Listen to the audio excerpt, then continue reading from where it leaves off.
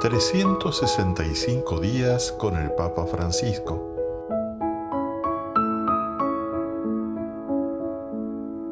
Reflexiones del Santo Padre para renovar nuestro corazón y transformar nuestras vidas.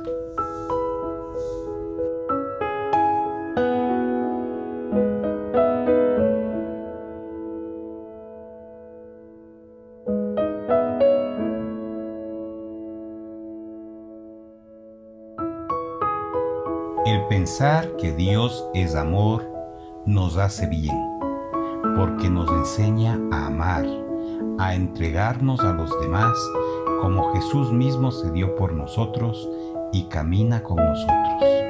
Y Jesús camina con nosotros en el camino de la vida. Papa Francisco, Angelus en Plaza San Pedro, 26 de mayo del año 2013.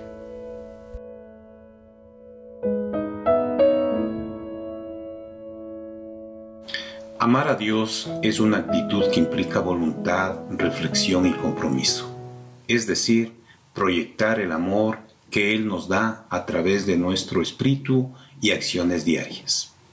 El amor es paciente, es bondadoso, el amor no es envidioso ni orgulloso, no se comporta con rudeza, no es egoísta, no se enoja fácilmente, no guarda rencor. El amor no se deleita en la maldad, sino que se regocija con la verdad. Todo lo disculpa, todo lo cree, todo lo espera, todo lo soporta. El amor jamás se extingue. ¿Por qué tanto amó Dios al mundo que dio a su Hijo unigénito para que todo el que cree en Él no se pierda, sino que tenga vida eterna? Dios ha dejado en claro que su amor, por medio del Hijo de Dios, Jesús, proporciona una oportunidad para que los que creen pasen la eternidad con Él. Es el deseo de Dios que podamos disfrutar de su amor en esta vida y también por toda la eternidad. Dios es amor.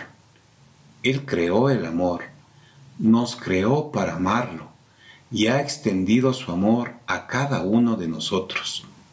Nuestro reto es aceptar su gran amor para que podamos experimentar su amor en nuestras vidas, hoy en día y por la eternidad. Que así sea. Señor Jesús, tú que caminas con nosotros en el camino de la vida, Enséñanos a amar como amas al Padre y como nos amas a cada uno de nosotros. Que sepamos entregarnos a los demás como tú, sin reservas, y que todo esto lo hagamos movidos por la meditación y la experiencia de tu amor. Amor que crea, amor que redime y amor que santifique y consuela. Que así sea. El Señor esté con ustedes. Y con tu espíritu. La bendición de Dios Todopoderoso, del Padre, del Hijo y del Espíritu Santo los acompañen ahora y siempre. Amén. Podemos ir en paz. Demos gracias a Dios.